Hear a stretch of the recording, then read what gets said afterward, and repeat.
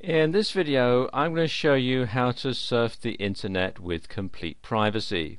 There are two steps to this process and the first is to come to this website here which is called hotspotshield.com and download their software and what this software will do is create what's called a virtual private network between your computer and their internet gateway. So basically, it's a secure gateway and it routes everything through them.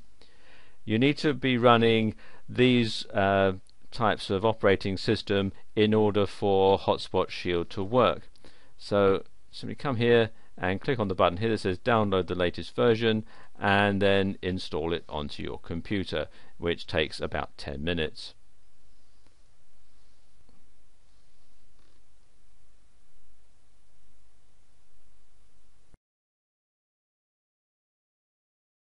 Okay, once that's installed, you'll see a little icon on your computer. It's just off the uh, screenshot here at the moment, but there's a little icon, looks like a little hourglass, down there next to the clock in the bottom of my computer and that tells me that Hotspot Shield is now working and everything is being routed through Hotspot Shield. So that's the first part of it and the second part is to make some adjustments to your internet browser. I'm using Firefox and if you come up here to tools and click on this one here that says start private browsing and then click on this one that says start private browsing.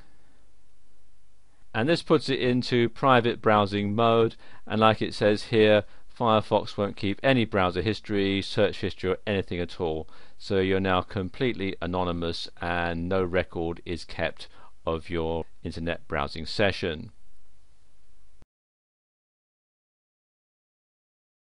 If you're running Internet Explorer the procedure is similar if you come here to tools and then you can come down to in private browsing and click on that.